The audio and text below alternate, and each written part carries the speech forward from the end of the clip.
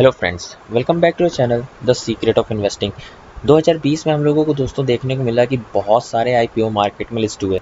उसमें से कुछ ने बहुत ही अच्छा परफॉर्म किया।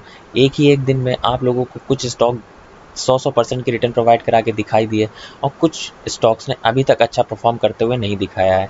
लेकिन दोस्तों आज इस वीडियो में जिस स्टॉक के बारे में हम लोग डिस्कशन करने वाले हैं, उसने लिस्टिंग टाइम तो बहुत ही अच्छा परफॉर्म नहीं दिखाई दिया था और उसके बाद उसमें गिरावट भी देखने को मिली थी। लेकिन कुछ ही समय में आप लोगों को दो परसेंट से भी ज़्यादा रिटर्न इस स्टॉक ने दिखा दिए हैं। यहाँ दोस्तों, बिना टाइम वेस्ट करते हुए जानते हैं कौन सा है वो स्टॉक हम लोग बात करने वाले हैं एंजल ब्रोकिंग लिमिटेड की। यहाँ दोस्तों, आप लोग ने देखा लगातार ये स्टॉक अपने न्यू हाइस को ब्रेक करके लगातार हायर हाइज बनाता जा रहा है और आज के दिन भी आप लोगों को देखने को मिला, लगभग छः से सात परसेंट की तेज़ी इस काउंटर में देखने को मिली और आज का हाई 1046 के अराउंड अभी तक का देखने को मिला।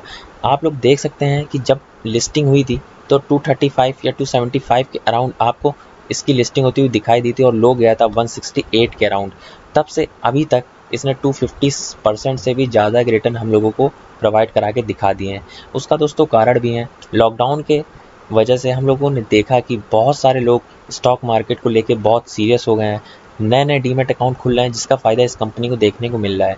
अगर हम लोग कंपनी की फंडामेंटल की बात करें तो हालाँकि कंपनी अभी स्मॉल कैप ही है डीमेट अकाउंट ओपन करने में जरोधा के बाद एंजल ब्रोकिंग का ही नाम आता है और आप लोगों में से शायद ही कोई ऐसा हो जिसने इस एंजल ब्रोकिंग का नाम ना सुना हो। अगर हम लोग कंपनी की आर देखें तो आप बहुत ही शानदार आर आपको देखने को मिलेगी, लगभग ट्वेंटी सिक्स पॉइंट एट की। अगर हम लोग रिटर्न ऑन इक्विटी देखें तो थर्टी फोर पॉइंट सिक्स का आपको रिटर्न ऑन इक्विटी भी इस कंपनी की देखने को मिल जाएगी, जो बहुत ही शानदार एक तरीके से हम लोग बोल सकते हैं।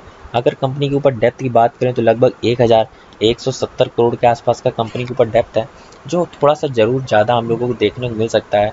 लेकिन दोस्तों कंपनी लगातार आउट परफॉर्म करती हुई आ रही है। पर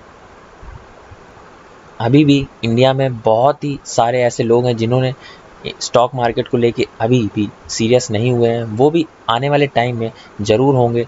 इस कंपनी को आने वाले टाइम में बहुत ही ज़्यादा फ़ायदा हो सकता है, क्योंकि लगातार डीमेट अकाउंट आपको खुलते हुए नज़र आएँगे और ब्रोकरेज में इसको मुनाफा ही मुनाफा करता हुआ ये कंपनी आपको दिखा सकती है। अगर हम लोग कंपनी की सेल्स ग्रोथ की बात करें तो आप लोग देख रहे हैं कंपनी लगातार सेल्स रिवेन्यू ग्रोथ सब कुछ बढ़ता हुआ नज़र आ रहा है। 2016 में केवल और केवल चार सौ इक्यावन करोड़ की सेल्स हो पाती थी। नेट प्रॉफिट कंपनी केवल बत्तीस करोड़ ही जनरेट कर पाती थी।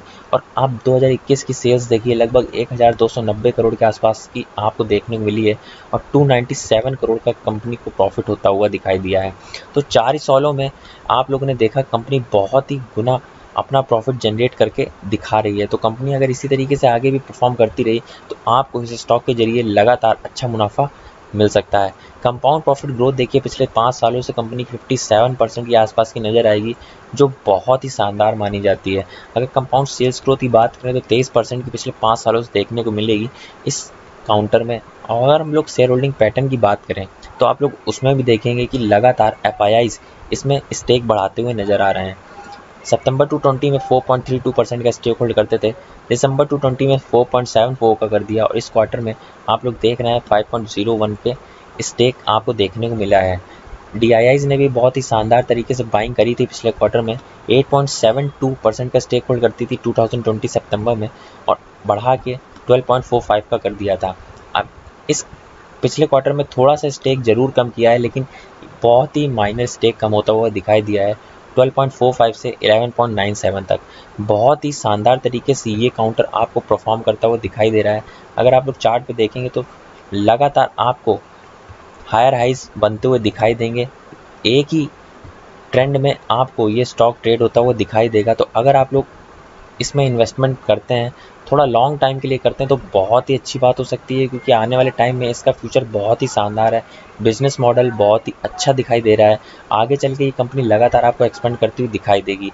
और रिसेंट टारगेट भी आपको अच्छी तरीके से ही देखने को मिलेंगे। बहुत ही जल्दी आपको 1100 का लेवल इस स्टॉक में देखने को मिलेगा। 100 परसेंट एनालिस्ट रेटिंग भी आपको देखने को मिल जाएगी, जो कि बहुत बड़ा पॉजिटिव इंडिकेटर है इस कंपनी का। तो अगर आप लोगों के पास स्टॉक है तो बेचने की गलती बिल्कुल भी मत कीजिएगा, क्योंकि 1100 का लेवल ज़रूरी आने वाले कुछ ही दिनों में आपको ये स्टॉक टच करता हुआ दिखाई देगा। इस वीडियो में बस इतना ही। मिलते हैं आपको अगले वीडियो में। तब तक के लिए बाय बाय